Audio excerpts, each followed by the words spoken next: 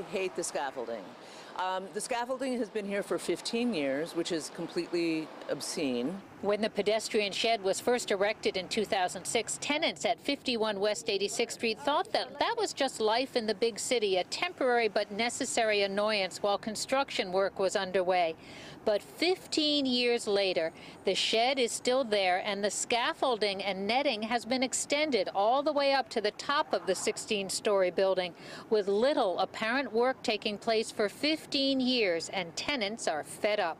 tenants should be notified as to what the status is and what the plan of some kind of resolution to the, to the face, the facing materials, and if, they, if and when they're going to get completed. And for some longtime residents who live in the front of the building, the scaffolding and netting is more than just a headache. It blocks sunlight, and they feel it's a safety issue as well. It blocks light, it blocks all our view to what the street is um, happening on the street. And we are, uh, we have a pigeon parade up here, and we all know what pigeons like to do. Uh, and uh, that in itself is a health issue. Um, and also, it's just the insecurity. The City Department of Buildings is aware of the problem. Sidewalk sheds are a necessity in our city to protect pedestrians from buildings that have been allowed to fall into disrepair. The landlords at 51 West 86th Street have a legal responsibility to keep their buildings in a safe condition and make needed repairs to the facade.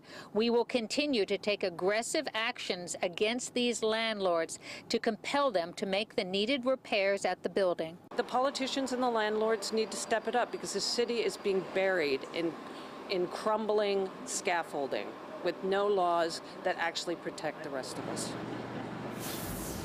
Uh, Pix 11, like so many of the tenants in this building, we called the landlord repeatedly. We emailed the landlord. His name is Jake Weinreb.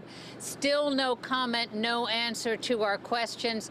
And some other tenants raised the issue. They say that this landlord owns other buildings in the neighborhood and uses the same tactics, puts up the pedestrian shed, but little work is done. We are live on the Upper West Side. Magee Hickey, Pix 11 News. Back to you, Katie.